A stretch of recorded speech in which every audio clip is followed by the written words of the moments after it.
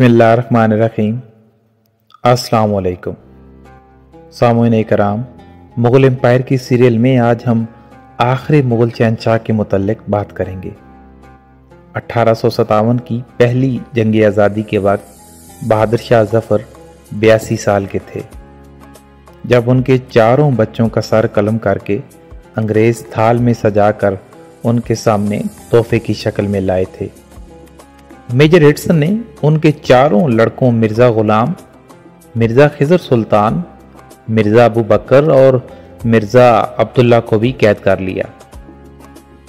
Major हिटसन ने चारों साहबजादों का सर काटा और उनका गर्म खून चुल्लू से पीकर हिंदुस्तान को आज़ाद करने की चाह रखने वालों से अंग्रेज़ों ने जंग और बगावत को जारी रखने का खतरनाक, वहशियाना अहद को जारी रखा। बहादुर शाह ज़फ़र ने अपने बेटों के कटे हुए सरों को अपने हाथों में लेकर दर्द भरे अल्फाज में उनके लिए दुआ करते हुए कहा, तैमूर की औलाद ऐसे ही सुरखरू होकर बाप के सामने अपना फ़र्ज़ अदा करते हैं। इसके बाद शहजादों के धड़ कोतवाली के सामने और कटे हुए सरों को खूनी दरवाजे पर लटका दिया गया। बहादुर शाह ज़फ़र ने अंग्रेज़ों की दास्तान के लिए अठारह की पहली हिंदुस्तानी जंग की अगुवाई की। अंग्रेज़ सेनापति ने उन्हें दो से कत्ल करने के लिए बुलवाया और गिरफ़्तार करके रंगून भेज दिया। बहादुर शाह ज़फ़र मुगल खानदान के आखिरी बादशाह थे। अठारह में तख्त पोशी के वक्त उन्हें अबू अल मुजफ्फर के बदले अबू ज़फ़र मोहम्मद सिराजुद्दीन, बहादुर शाह गाजी जैसे नाम मिले थे। उनकी हुकूमत ढंग आलम से पालन पाखी मानी जाती थी। वो नाम माग के दिल्ली के चेयरमैन थे और असल हुकूमत अंग्रेज़ों के पास थी। उन्होंने उर्दू, अरबी और फारसी ज़ुबान के साथ घुड़सवारी, तलवारबाजी, तीरंदाजी और बंदूक चलाने की काफ़ी महारत हासिल कर ली थी। वो एक अच्छे सूफी दर्शन के जानकार, फारसी मियान, सोलेखन में अदीब व शायर थे। वो अठारह सौ सत्तावन की हुकूमत के काम काज संभालते रहे। अंग्रेज़ों ने उन पर हुकूमती मुजरिम और फौजियों के कत्ल के इल्ज़ाम में अदालत के ज़रिए मुकदमा चलाया। मुकदमे में पेश किए गए सबूत बहुत ज़्यादा जुल्म आमेज थे और कानून आम होने के बावजूद अंग्रेज़ों ने बहादुर शाह ज़फ़र को मुजरिम और खाती करार दिया और मुल्क से निकालने का फैसला दिया।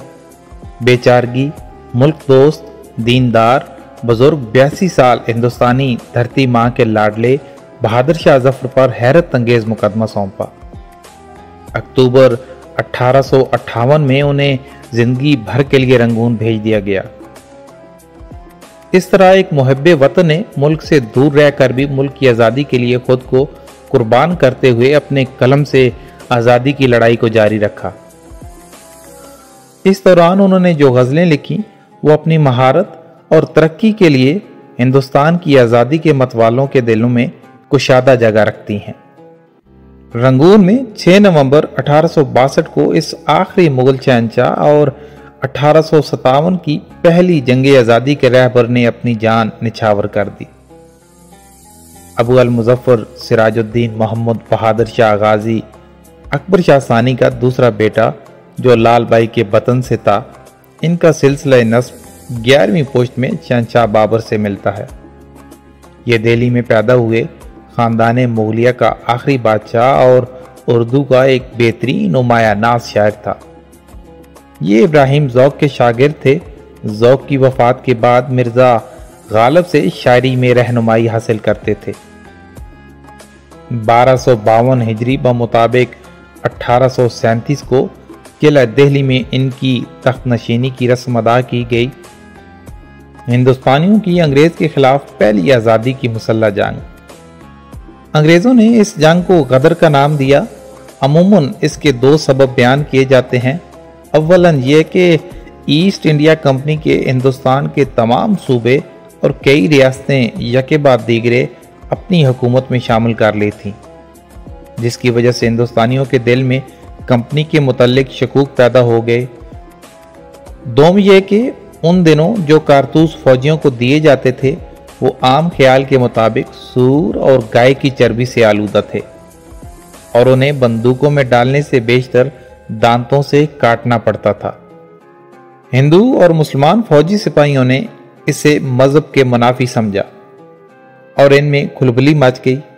जिन सिपाहियों ने इन कारतूसों को इस्तेमाल करने से इनकार कर दिया, उनकी फौजी वर्दियाँ उतार कर उन्हें बेड़ियाँ पहना दी गईं। उन कैदियों में बहुत से ऐसे थे जिन्होंने अंग्रेज़ों की खातिर बड़ी बड़ी कुर्बानियाँ दी थी। जंगे आज़ादी हिंद का आगाज़ अठारह सौ सतावन में बंगाल में डमडम और बारकपुर के मकाम पर हुआ, जहाँ देसी सिपाहियों ने उन कारतूसों के इस्तेमाल से इनकार कर दिया, जिनमें उनके ख्याल के मुताबिक सूर और गाय की चर्बी लगी हुई थी। अंग्रेज़ी हुकूमत ने उन सिपाहियों को गैर मुसल्ला करके फौजी मुलाजमत से बर्खास्त कर दिया। लखनऊ में भी यही वाक़ पेश आया। बर्खास्त शुदा सिपाही मुल्क में फैल गए और फौजों को अंग्रेज़ों के खिलाफ उभारने लगे। मई अठारह सौ सतावन को मीरठ में सिपाहियों ने चर्बी वाले कारतूस इस्तेमाल करने से इनकार कर दिया। दो सिपाहियों, मंगल पांडे और ईश्वरी पांडे ने अंग्रेज़ों पर हमला कर दिया। मंगल पांडे को गिरफ़्तार कर लिया गया और उसे सजाए मौत दे दी गई।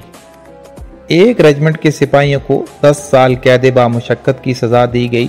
जिस तरीके से ये हुक्म सुनाया गया, वह भी तहजीब से गिरा हुआ था। देसी सिपाहियों ने अंग्रेज़ अफसरों को हलाक करके उन कैदियों को आज़ाद करा लिया और मीरठ से दिल्ली की तरफ़ बढ़ने लगे। मीरठ के सिपाहियों की दिल्ली में आमद से दिल्ली की फौजें भी बिगड़ गईं।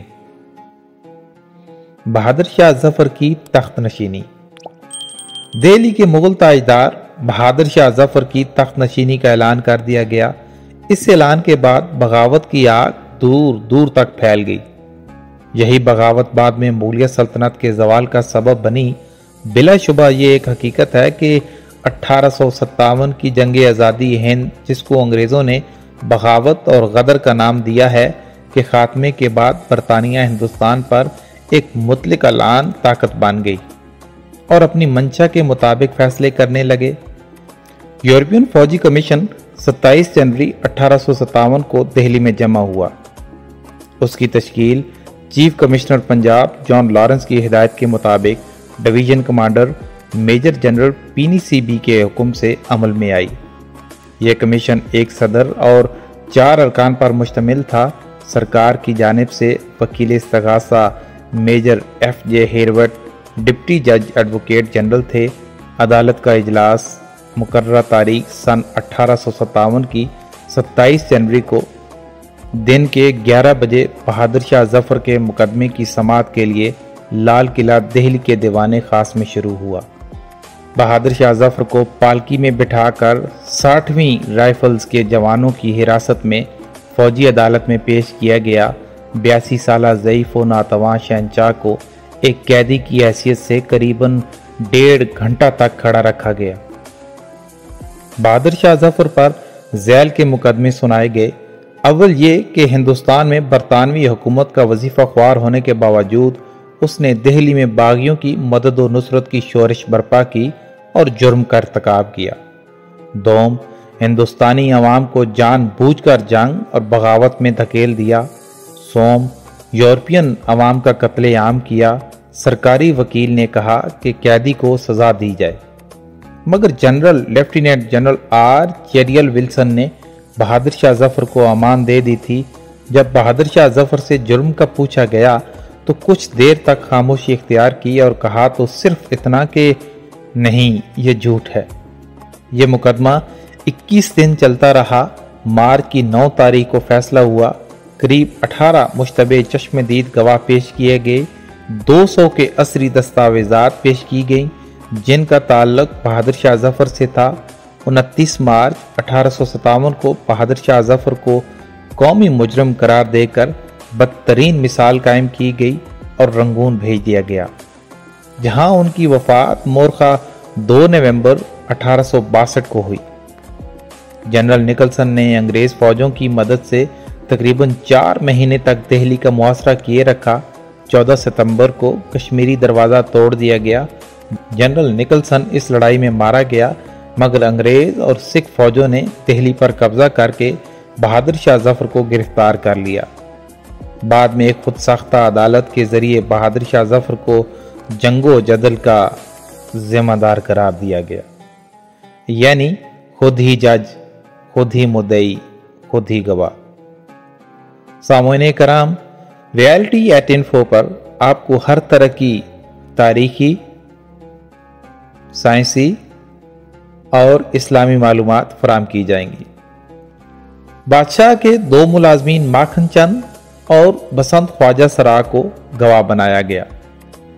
इन गवाहों के बयानात की बादशाह ने सख्ती से तरदीद की, मगर उसे मुजरम करार देकर सजा के तौर पर जिला वतन करके रंगून भेज दिया।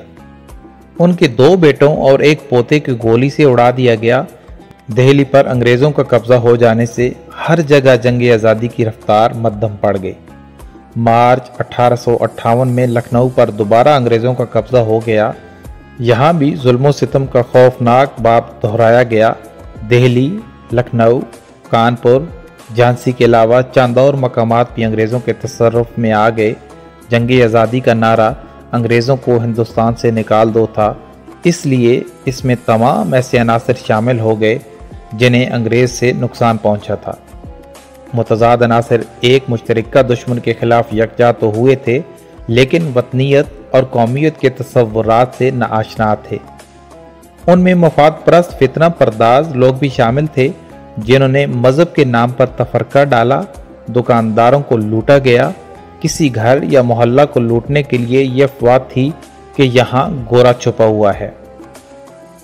बहादुर शाह ज़फ़र, जिसकी बादशाह का ऐलान बागी सिपाहियों ने कर दिया था और फिर बादशाह ने ऐलान किया हाँ मैं हिंदुस्तान का बादशाह हूँ और आप लोग हिंदुस्तानी फौज के सिपाही। आज मैं अपनी तख्त नशीनी का ऐलान करता हूँ। आज के बाद ईस्ट इंडिया कंपनी को कोई खराज, कोई रकम नहीं देगा। और हम ये भी ऐलान करते हैं कि ये फरंगी हमारी ममलिकत हिंद से निकल जाए। सिपाहियों के नाम लिखकर तनख्वाहें मुकर कर दी गईं। मुगल खजाना वैसे तो खाली था, मगर वतन की मोहब्बत में मिले हुए महाराना प्रताप, बादशाह अकबर और शिवाजी की औलादों को एक होने पर मजबूर कर दिया। बहादुर शाह को जंग आज़ादी का सरबराह मुकर किया गया और रकम बादशाह के नज़र की, जिससे सिपाहियों को तनख्वाहें दी जाने लगीं। फौज तो मिल गई, मगर अच्छा सिपाही सालार न मिल सका।